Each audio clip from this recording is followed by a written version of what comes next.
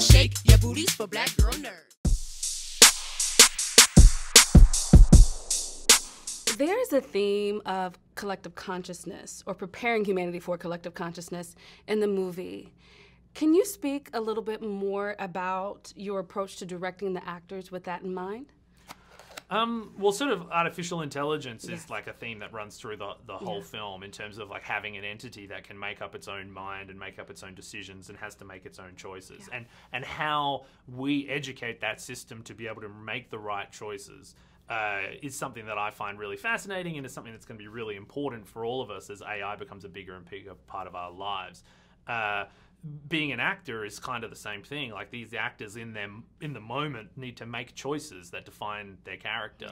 Uh, but the great thing about casting talents like Clara and Hilary is that you can trust their autopilot. Like those those women when they get in the moment when they're in the zone, the choices that they make surprise even me. So I'm there on the outside being able to, to guide and give them context and give Yeah. them background, but then I really want to know what choices that they make. Now, as I was watching this movie, I was thinking about how, you know, man striving to create something.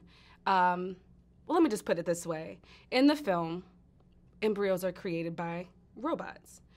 Can, while we know that science can create a human body, who is to nurture the human spirit in these types of futuristic societies? Or um, can you speak to that? Can you speak to the notion of a body but without a soul? And can a robot nurture the soul? Yeah, well, it's an interesting distinction because the, the we don't really know what the source of the embryos are within the film. Like I, I assume that's a biological process that's brought them into the, mm-hmm. the bunker. But certainly, what the film focuses on is is can a robot raise a human, Yeah. and what does that look like? You know, ha, what makes that robot prepared and ready and capable of raising a human? But you could ask the same question of human parents? Like how do you know when you're ready? What wisdom do you impart? Like how do you not pass on your failings onto that child? Or like your assumptions about the world that may or may not be right. Yeah. and, and there's no easy answer to that which is why we've gone and made a whole film about it um, it's messy business you know like how how did you decide what's right and wrong for yourself separate to what you've been told by your parents is something that's like very central to this film? And the same distinction is made between like a robot making its own mind up about what's right from wrong. Did it determine for itself what's right and wrong or was it programmed the same way that a child is programmed to think in a similar kind of fashion to the what their parents believe?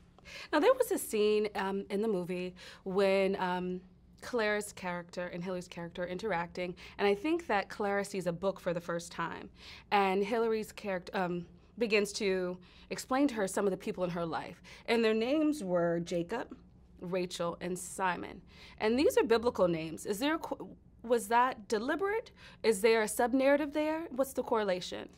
Uh, there's an answer to that, but it gets slightly into spoiler territory. Okay. But I'll say that nothing is an accident in this Yes. film. Like, particularly because Michael and I have worked together for so long on the screenplay, and we'd have to justify every little detail to Yeah. each other. Stuff like that doesn't go by unnoticed. daughter is very loyal to mother.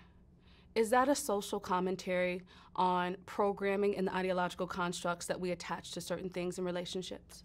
I think it's just a product of, of her world and her experiences. You know, mother is all that daughter's ever known. Like, from her point of view, she's as natural and inevitable as all of our mothers seem to us. Like, she believes in, trusts, and, and loves mother. So she's not quick to throw that aside. It really needs to be tested and stretched and pulled before it'll break.